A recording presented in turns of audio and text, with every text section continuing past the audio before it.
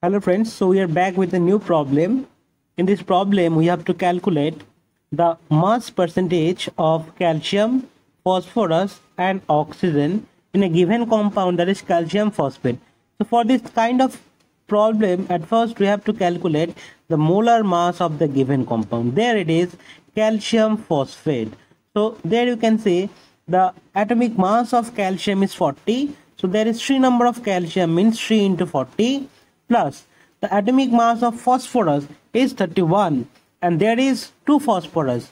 So I will write to 31 into 2 plus there is oxygen. So there is 4 number of oxygen. That is uh, multiplied with 2 so total number of oxygen will be 8 so I will write the atomic number of oxygen that is 16 will be multiplied with 8 so what is the total molecular mass of calcium phosphate molecule so 8 will be equals to 310. So total molar mass of the given compound is known to us. Now we will find out the mass percentage of every compound one by one. So at first we'll talk about the mass percentage of calcium. So how to do that? So you see we will do it very easily. So we know the total molar mass it is how much? 310 so 310 we will divide the amount of calcium. So what it is 40 into 3. So amount of calcium in calcium phosphate divided by the total molar mass that is 310. So if you do the calculation and multiply this with 100 to get the percentage you will get the value of this is equals to 38.71 percent like that you can also calculate the mass percentage of phosphorus. So what it will be? The amount of phosphorus is 31 into 2 divided by total mass. How much it is? 310 into 100 percent. So we will get the value for that.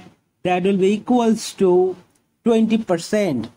So we will have 20 percent for that like that we can also calculate the mass percentage of oxygen. So mass percentage of oxygen will be the total given mass of oxygen that is 16 into 8 divided by the total mass that is 310 into 100 percent. So we will have the by calculation the total percentage of oxygen that will be equals to 41.29%. So if we calculate, it will come 41.29%. So like that, you can calculate the mass percentage of uh, every atoms present in a molecule. Now for your practice, I'm giving you one more example of a compound. So you will find out the mass percentage of sodium and sulfur and oxygen present in sodium sulfate molecule. So that is your homework.